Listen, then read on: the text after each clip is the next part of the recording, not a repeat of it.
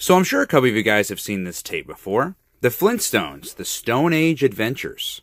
Yeah, this is actually a pretty easy to find tape, pretty common, except for this particular version. What's different about it?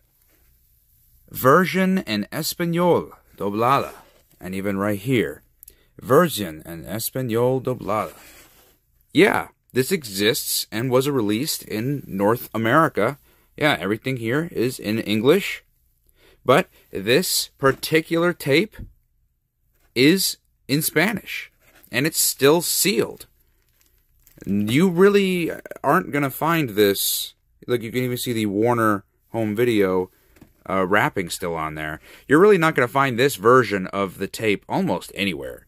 Um, this is a pretty lucky find. It was the only one on the internet. It was a blind buy too. Um, didn't really know what I was getting, but uh, yeah, happy to own this and